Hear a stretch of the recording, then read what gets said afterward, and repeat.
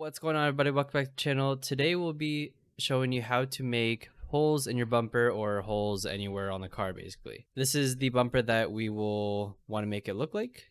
This is the end result. This is an M3 bumper and then we're just going to make holes just like that. So first off what you want to do is you want to create the shape that you want your holes. So if I'm just going to do a cylinder, right? So you do the cylinder under primitives and I'm going to rotate it 90 degrees and then we're going to place it in the bumper. Okay, now if we want the hole to be, so this hole you can see like the edges there, if you want it to be higher, higher definition, we can raise it to like 30, sure, you can do like 30. Um, you want to make the hole the size that you want it to be. So place it where you want to for one of them. And then you can, if you hold shift and then drag uh, along the one of the axis, then it'll clone it and then if you do number of copies i'm gonna do four basic this is saying four additional copies on top of this one. So with doing four you'll get five total. So let's do five then we're gonna move into sure we'll just do that. We need to convert these into editable poly. So you can select all and then right click convert to editable poly or I have a shortcut that does that for me but here we go. So now it's editable poly. Next, we're going to attach all these together using the attach tool. Just click it, toggle it on, and then start clicking on all the other cylinders. Right click to get out of the attach uh, function. So now you see they are all one object. Right now it is smooth. Um, after we do this, it will appear not smooth. So just kind of hang with me here. So click on the bumper, click on the plus sign up here, do the drop down, go to compound objects, and then for this method, we're going to use Boolean. Okay, click on Boolean. Now it will take off the smoothing groups. That's fine. We'll we'll we'll fix that later. Under operand parameters, hit subtract. This will allow you to take away the shape. Select add operands and then click on the cylinder. So as you can see, added it told the bumper to cut out holes in the shape of those cylinders right click to get out of that menu. A lot of people that come to me, they're like, "Hey, I did the boolean, I did whatever, but now my my object is all screwed up. So what do I do?" So now we're gonna go to the modifier tab, or what is this called? Modify. Yeah, you want to right click and convert to editable poly. Okay, and then you're gonna hit the polygon selection tool, or you can hit four on the keyboard. That'll do the same thing. You're gonna control A to select all, scroll down.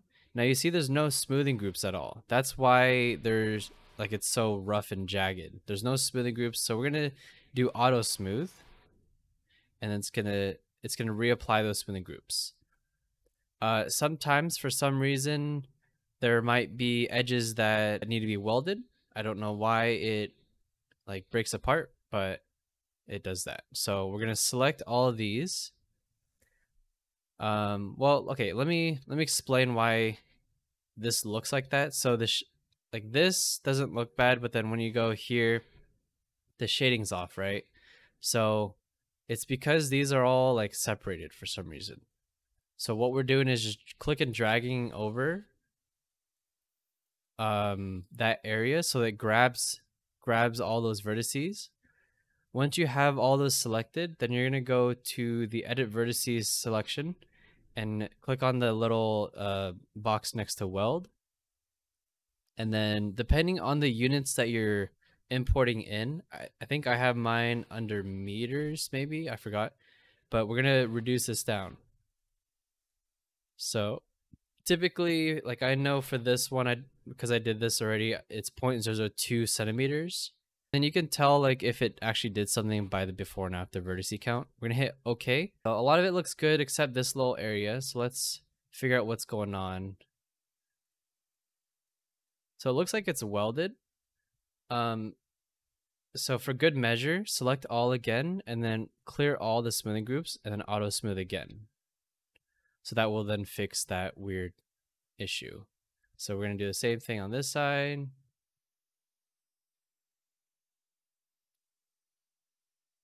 Cool, so that's all fixed. So that's basically how you do the holes. Uh, if you wanted to do the edge, if you hit 3 on the keyboard, that will select the border selection.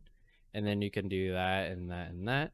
And then if you hold shift and then extrude in, that will kind of give it that extra edge. If we uh, go back to border selection and then if you hold control and then click on the polygon selection, it will convert that selection to the polygon selection, if that makes sense. Um, and then we're going to reapply smoothing groups. So then it gets nice and smooth again. So that's basically it. Um, I would just use Boolean. I think Pro Cutter does the same thing in the same way, um, just maybe a little bit different order. But just use Boolean. Pro Boolean, I, I don't know. Sometimes it like does it good. Sometimes it doesn't do it at all. So just use Pro uh, Boolean for it, and then do those methods for the welding. But hope this helps, and have a good rest of your day.